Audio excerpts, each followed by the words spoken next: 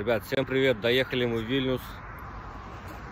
Собирались дома, не снимали как, потому что там были скандалы. Мама не хотела Алену отпускать в Вильнюс. Вот. Сейчас уже находимся в хостеле, заселились. И завтра она пойдет уже на тест-драйв. Тест-драйв, медкомиссия, трудоустройство. Будет устраиваться. И потом мы поедем уже вместе в рейс. Погода в Вильнюсе пока что хорошая. Утром был морозик. Пока доехали, коллектор у нас прогорел. Тоже искали сегодня СТО, пока ничего не нашли. Завтра у кого-нибудь местного спросим. Что, ребятки, всем привет. Сегодня понедельник. Сегодня Алена сдавала тест-драйв. Она его не сдала. Что ты пиздишь?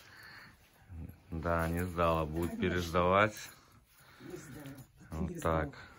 Купили мы холодную сварку. Сейчас замазали коллектор. Заселили, кстати, вот такой номер с кухней у нас все. Здесь душ. Все, идем курить.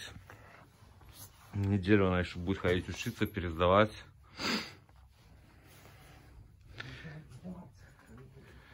Вот, пересдаст, и потом будем думать дальше. Карточку мы заказали, все пришло. Вот так. Ну что, друзья, всем доброе утро. Вон, Саша пошел выбрасывать мусор, прогревает Мерседес и выезжаем мы в Шавляй. С горем пополам сдали мы тест-драйв за две недели пробывания здесь уже в гостинице. И все.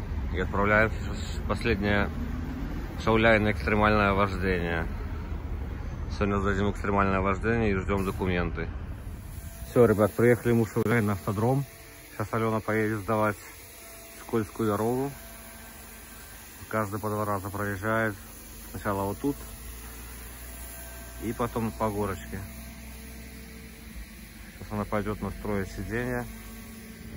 Инструктор там что-то помог настроить сиденье, видно. Ну что как. И сейчас поеду.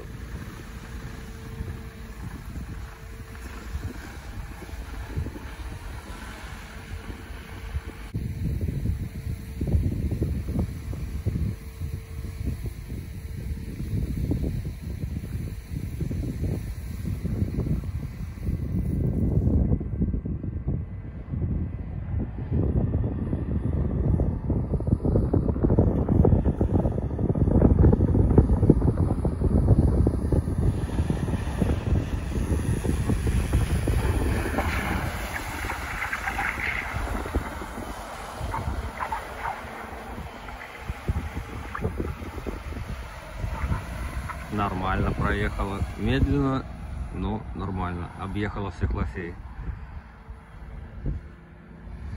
Сейчас попытка в два, и потом две попытки еще наверху на спуске с горы на скользкой дороге.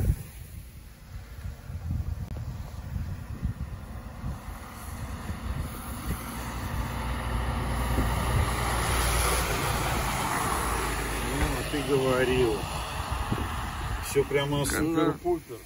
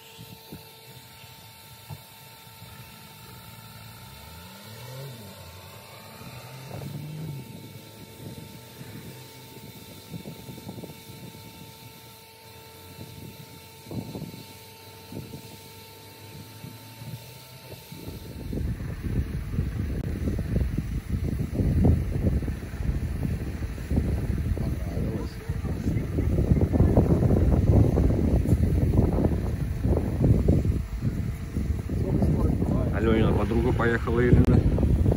О, Саша снимает.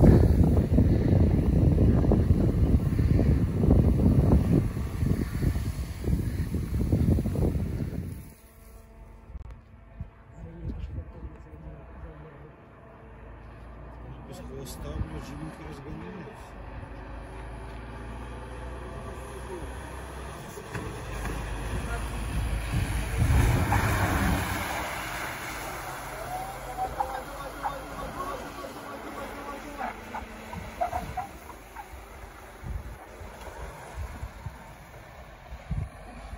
tu bul dua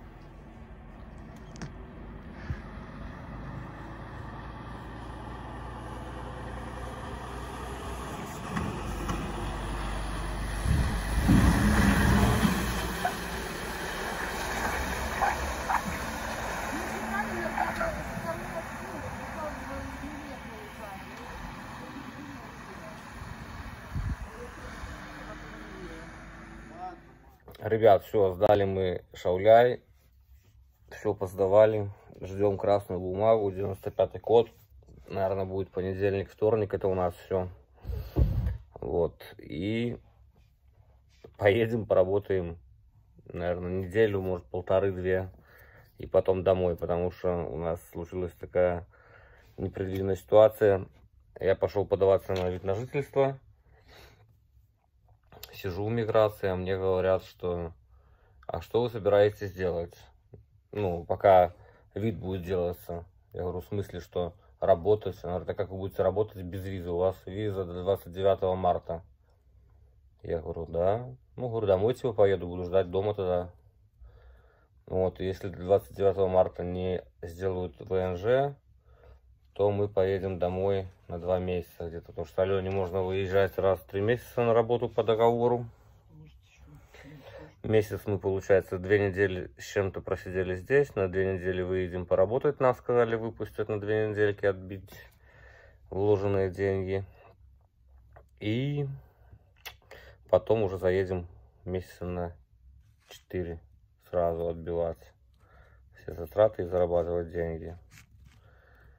Пока ждем понедельника, вторника красную бумагу и посмотрим, что там будет у нас со временем оставаться, сколько дней и выпустят ли нас.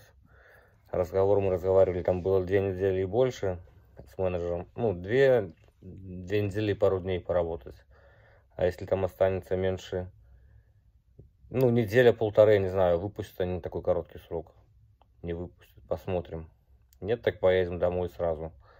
Ждать вид на жительство. Если что, будем писать погранкомитет. Может выпустят раньше, потом посмотрим. Что ж, всем удачи, всем пока. Ставьте лайки, подписывайтесь. Всем пока.